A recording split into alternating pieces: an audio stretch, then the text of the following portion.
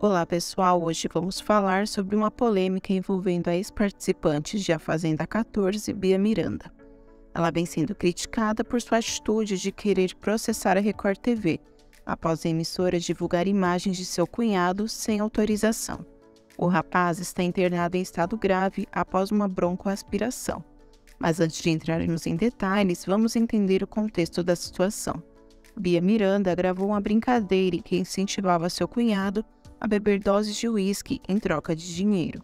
Horas depois, ele foi hospitalizado e acabou entrando em estado grave. A Record TV exibiu uma matéria sobre o ocorrido e usou imagens do rapaz sem autorização, o que gerou a revolta de Bia e um processo. Mas será que essa atitude da ex-participante é justificável? O jornalista Felipe Campos acha que não.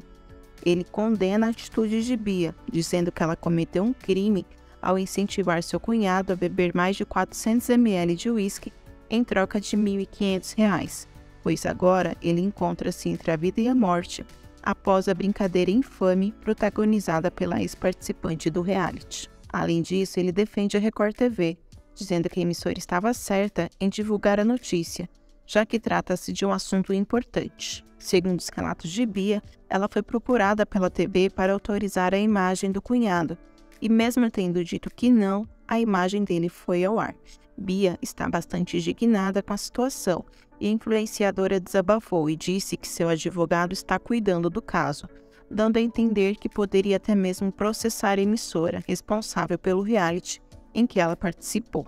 Mas o que vocês acham dessa situação? Concordam com a opinião de Felipe Campos, que diz que ela está exagerando ao querer processar a Record TV? E que ela seria responsável pela situação atual do cunhado? Deixem nos comentários suas opiniões sobre o assunto. Obrigada por assistir o vídeo, se inscreva no nosso canal e até a próxima.